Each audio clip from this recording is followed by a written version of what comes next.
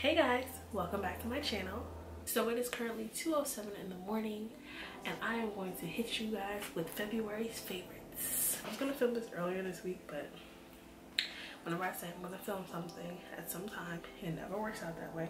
So I don't even know why I do this to myself or even try, but whatever. But yeah, so I'm just gonna give you guys last month's favorites and if you wanna know what they were, stay tuned. So I have three categories to show you guys, or four makeup, skincare, fragrance, and I guess home goods. Something along those lines, like homeware, housewares, home goods, that type of thing. All that wrapped into one. And then some other stuff that I can't physically show you, but they're just things that are my favorites this month I like. I'm gonna start with the makeup, of course, because that is my favorite. So first favorite of February and just period is the Laura Mercier translucent powder. I love this powder, you guys. I really didn't buy this because of its price. It's $43 at Sephora and with tax it's like almost $48 and I was just like, I really don't want to shell out that much money for a powder. So I took the cheaper route and I bought the e.l.f. High Def powder and translucent and I bought the NYX Set It Don't Fret It mineral powder. Those powders are good but not for me. The NYX one I do like though, like when I want to cut my cheekbone, that's what I use. But the e.l.f. powder, no, no, no. It says translucent, but it's like white, like white. One day I just decided, you know what? Gonna buy it, but I'm gonna get it. And I love it. It has changed baking for me so much. I almost gave up on baking because I was like, it just does not look right on me. I always look too light and crazy and I don't have time for it.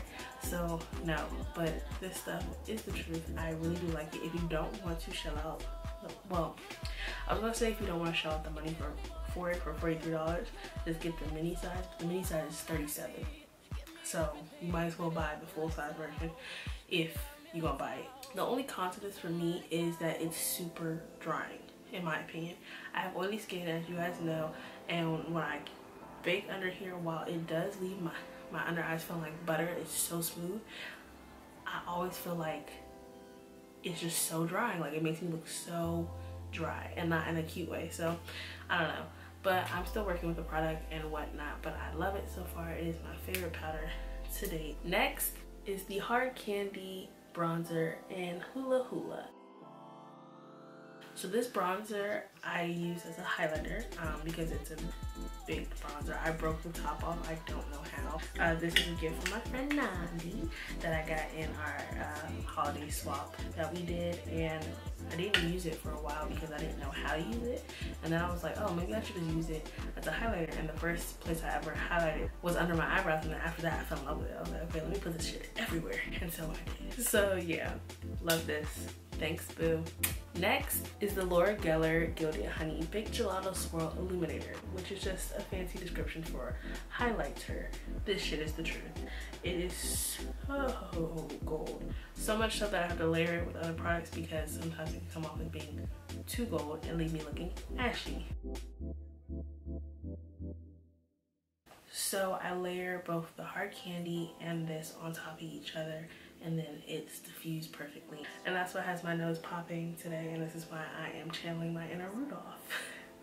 Next are my favorite mascaras of the month. From left to right is the Maybelline Push Up Drama, the Falsies, my MAC Hot and Naughty Waterproof Lash, and Too Faced Better Than Sex. I love these mascaras. I have so many mascaras. My mom calls me a mascara junkie. But I just love making my lashes look long and full and super, super inky. Like that's just something I love. I love that look. My favorite combo at the moment is putting on the Too Faced Better Than Sex mascara on first and then coming back in with the Falsies Push Up Drama Mascara right after on my top lashes. On my bottom lashes, I use the MAC Hot and Naughty Waterproof Lash and then I put the Falsies Drama on top of that. Now, this mascara is really cool. I just discovered this, um, so technically it's not a February favorite, but I couldn't help but put it in here.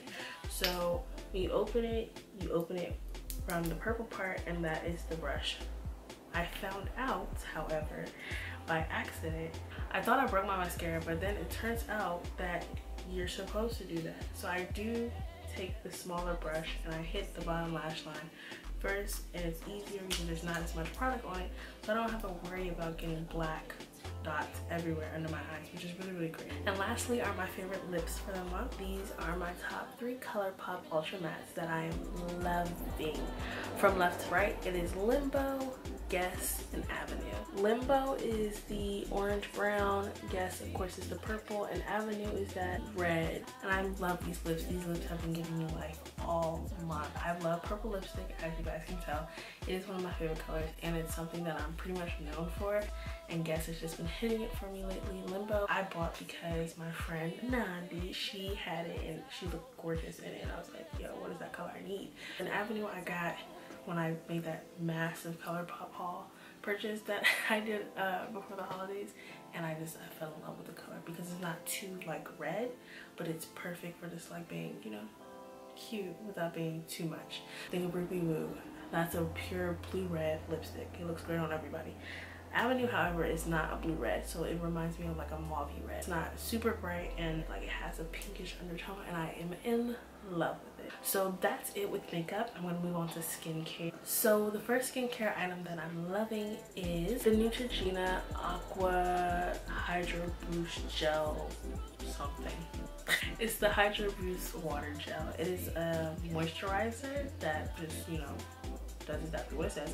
Boosts the hydration of your skin if you're dry like I said, I'm oily. I'm not a dry girl, so I do not put this all over my face. I only put it under my eyes just to hydrate before I put on foundation and concealer because I always want to make sure that it's not cracked or dry so that my makeup doesn't crease as much. So that's why I use this. This is a sample size that I have that my mom had and I stole it because she didn't use it. So that's what I use. I should probably go pick up the large tub. But I haven't found anywhere that sells it. So I don't know if they sell them in Targets or what. Next, are the Maybelline Baby Skin lip balms. Just picked up this one. I have been rocking with the Baby Lips Dr. Rescue since the holidays, since around Christmas time. This is my favorite lip balm. When I was little, I would have the worst habit of picking at my lips when they were dry and scabbed and just disgusting, being weird. And um, I still sometimes catch myself doing it. So I picked this up mainly because I didn't have a lip balm at the time and regular chapstick really doesn't do the thing for me. It just makes me feel greasy. It really does what it says. It really does rescue your lips. My lips are smoother now and my liquid lips go on flawlessly, which I appreciate. So definitely check this out.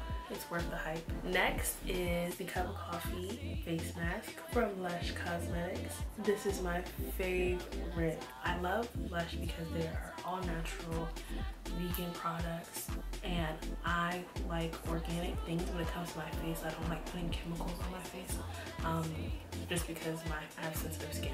So I really don't want to do anything or put anything on my skin that's going to affect it negatively. So I love Lush, even though their store can cost the senses sometimes.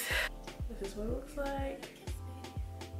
And this one has kaolin oil, agave syrup, and fresh coffee bean in it. And it just so good. Exfoliates the shit out of your skin and it smells like chocolate. You smell like coffee ice cream the whole entire day. Like you're walking Starbucks. It always leaves my skin feeling so soft, so smooth, and I smell good all day. And lastly in the skincare section is my tea tree toner from Lush. This is a non-alcohol toner, which is really, really good because alcohol dries out your skin and when you put it on your face, it can be really, really damaging. So I picked up this. It smells good. It refreshes my skin. I do it every single night before I go to sleep. And even when I get too lazy to actually take the time to like use my spin brush.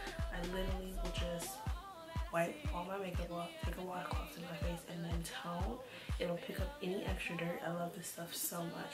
Definitely recommend picking up. It comes in a smaller size too if you don't want to make like a $28 purchase for the big one, but major key. Next is my favorite fragrance of the month. My favorite fragrance of the month is Marc Jacobs Honey. This was a birthday gift from my little sister and I'm just in love with it. Like, it smells so good. It's such a classy fragrance. Like, I never want to smell too mature or anything, if that makes sense. Like, I never want to wear, like, an older woman perfume, but it makes me feel, like, really, like, classy and, like, sophisticated without making me feel old. And then in the houseware category, I am loving these candles by DW Home. This is my favorite brand of candles. I have purchased two other candles by them.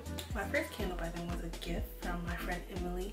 Uh, it was a secret Santa thing that we did for our dance team and it was lavender scented. I'm like this close to being done with it right now which makes me so sad but I love it. It smells so good and all their candles smell good.